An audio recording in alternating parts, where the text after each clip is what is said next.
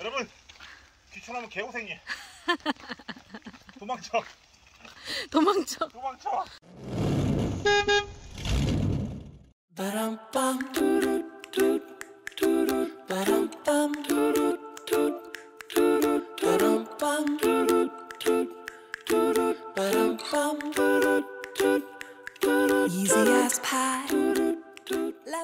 지금 저희 집 주차장 만들 공간이에요. 여기 집 바로 옆에 주차장을 만들 건데 열심히 아까부터 달람님이 혼자 작업을 하고 있어요.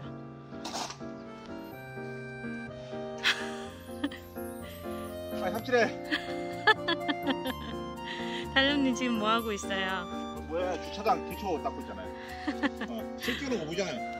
어, 주차장 왔고 잡은 겁니다 어 이거 실 띄워놓은 어, 거. 주차장 왔고 잡은 거. 그래서 콘크리트를 부어도 응, 밑에가 너무 높고 낮으면 응, 콘크리트 어떤 데는 얇고 응. 어떤 데는 너무 깊고 하는데 두꺼운 건 문제가 안 돼 네. 너무 얇은 데 깨진다고요 아. 너무 튀어나오는데 뭐만 까다 보니까 흙이 지금 이만큼 나오네 저기까지 흙 진짜. 저 1톤 차 분량만큼 나왔는데 응. 이걸 좀 이걸로 나누고 있어요. 이걸로 저기 흙 모자라면 딱 닦아야지. 여러분, 귀찮으면 개고생이. 도망쳐, 도망쳐. 도망쳐.